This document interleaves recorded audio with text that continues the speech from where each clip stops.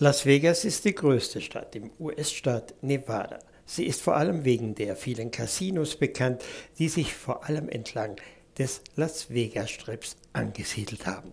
Die Einwohnerzahl auf eine Fläche von 340 Quadratkilometer beträgt ca. 630.000 Einwohner. Und dass die alle trinken und essen, ist ganz klar. Und deshalb fahren ca. 2000 Lastwagen pro Tag Las Vegas an. Denn Las Vegas liegt in der Wüste und in der Wüste wächst nichts Besonderes. Und die Ansprüche der Touristen und der Spieler in Casinos mit ihren Buffets sind sehr groß. Diese Lastwagen sorgen dafür, dass in Las Vegas niemand hungert. Und die Fahrer, die kommen beinahe zu kurz.